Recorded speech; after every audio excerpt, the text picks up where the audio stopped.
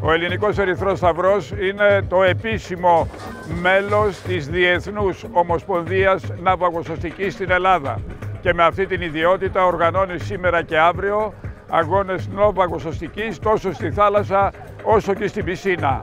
Σκοπός και στόχος του Ελληνικού Ερυθρού Σταυρού με αυτούς τους αγώνες της ναυαγοσωστικής είναι να μπορέσουμε να προάγουμε την ασφάλεια στο νερό νερό, είτε είναι θάλασσα, είτε είναι πισίνα, είτε είναι ποτάμια.